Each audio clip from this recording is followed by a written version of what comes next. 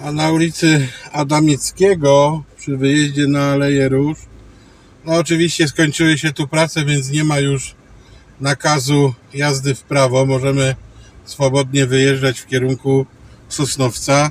No i tak prawdę powiedziawszy, to powoduje, że czekając w kolejce do wyjazdu bez względu na to, w którą stronę, te wyjazdy z Adamieckiego trochę się wydłużają. Wszak cały czas od Sosnowca w zasadzie jest ruch, te pojazdy tam jadą dosyć, dosyć szybko. No i stoimy czasami gdzieś tam dość, dość daleko czekając na możliwość e, wyjazdu na Aleję Róż.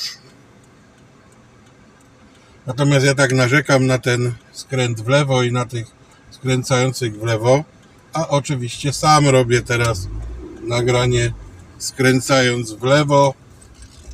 Tutaj oczywiście ten skręt w lewo możemy sobie jak najbardziej podzielić na dwa, więc wyjechać sobie do środka i później wyjazd dopiero dalej, najlepiej do lewego pasa. Aczkolwiek ciężko mi na tą chwilę powiedzieć, czy e, w tamtym miejscu możemy wyjeżdżać szeroko na pas prawy, czy nie możemy, bo na tyle słabo widać oznakowanie.